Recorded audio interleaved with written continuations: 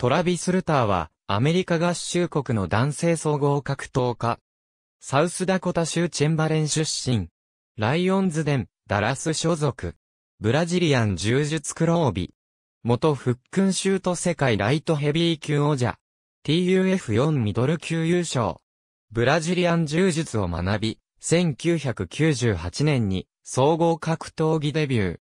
2002年5月25日、フックンシュート世界ライトヘビー級王座決定戦で、クリス・モンセンと対戦し、チョークスリーパーで一本勝ちを収め王座獲得に成功した。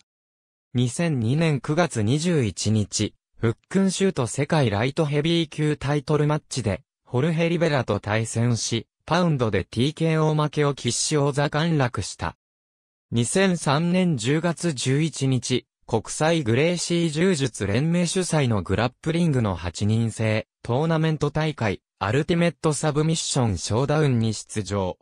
準決勝でヒーロン・グレーシーに12から1でポイント勝ち、決勝でもデビッド・アベランに13から1のポイント勝ちし、優勝を果たした。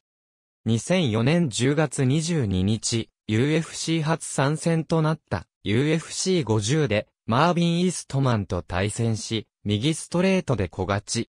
2006年8月、リアリティ番組、ザ・アルティメット・ファイターのシーズン4に、チームのラブの一員として参加。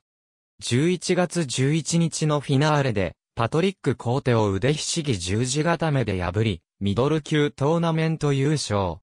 アンデルソン・シウバの持つミドル級タイトルへの挑戦権を獲得した。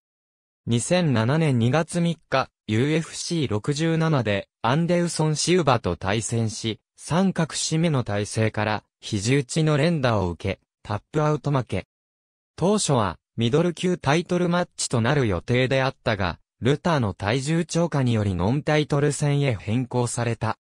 ありがとうございます。